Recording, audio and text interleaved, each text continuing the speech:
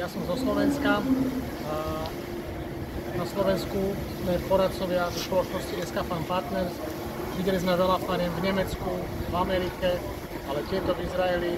Proste kto nebol v Izraeli, tak každý by mal vidieť ešte, ako sa robí mlieko v Izraeli. Hlavne, aby vedel, ako si poradiť s teplným stresom u kráľ. Perfektne.